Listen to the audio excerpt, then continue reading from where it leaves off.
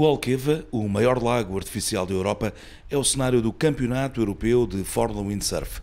Até ao próximo sábado, as pranchas vão voar no Centro Náutico de Monsaraz. Com 32 inscritos, o campeonato conta com atletas de Portugal, Espanha, França e Inglaterra.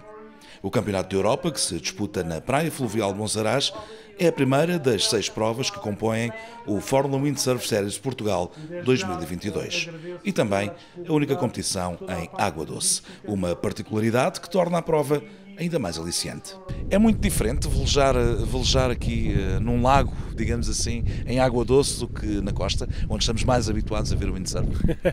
Sim, tem as suas particularidades. Nomeadamente estamos a falar eh, de, de, água doce que tem menos densidade do que a água salgada, logo as pranchas têm mais dificuldade, neste caso, a levantar, a levantar voo. Uh, mas pronto, é questão também de hábito. Aqui também, não só a densidade da água, mas também a nível de ondas, uh, embora, ah, dizem que é liso, mas se o vento começar a carregar, temos os, tal, os tais carneirinhos de vento que é preciso também termos uh, alguma preocupação, algum treino, e depois temos a parte de vento, porque sempre que estamos a falar de águas interiores, normalmente o vento é um bocadinho mais instável, ou seja, saltos de direção, uh, o que convém os atletas estarem mais focados, mais concentrados. Hoje nota-se bem que as condições para o windsurf são muito boas, porque está vento, como podemos ver.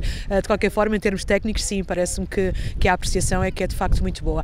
E depois, para além da praia, para além de, de, de, daquilo que é o essencial que vêm fazer cá, que é competir, há todo, toda a envolvência, toda, tudo o que há à volta uh, que pode ser desfrutado pelas pessoas que vêm cá, ehm, que é o Castelo de Monsaraz, que é, uh, que é esta vista maravilhosa, que é este, este, este, de facto, esta envolvência que é, que é extraordinária. A nossa gastronomia, toda a cultura, acho que, acho que é o local certo para vir fazer windsurf.